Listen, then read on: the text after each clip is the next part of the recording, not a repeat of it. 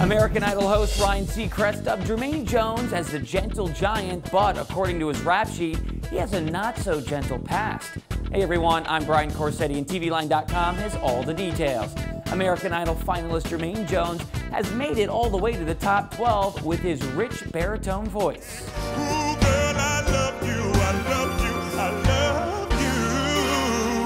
But he shocked everyone when he posted a totally unexpected message on his Twitter account on Tuesday announcing his departure from the show. The tweet was quickly removed and Fox is declining to comment, but TMZ reports that Jermaine will be kicked off the show Wednesday night after producers discovered last week that he lied about his criminal history.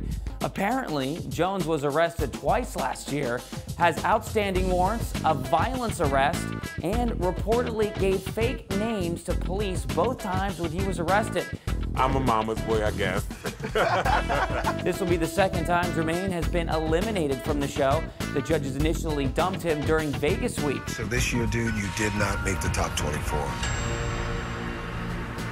But in a surprise twist, the judges invited him back the following week to join the top 24 in the first live show.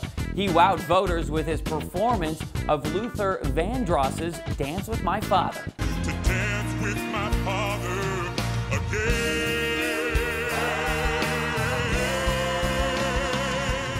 Unfortunately, we're afraid there will be no more chances for the 25-year-old from New Jersey.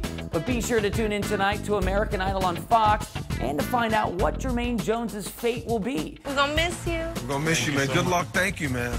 Check back tomorrow for a full report of what goes down on American Idol tonight and satisfy your idol obsessions with our highly opinionated commentators on our recap show, Idology. Thanks for watching, everyone. I'm Brian Corsetti. For more TV news, log on to TVLine.com and subscribe to ENTV for all your entertainment news first.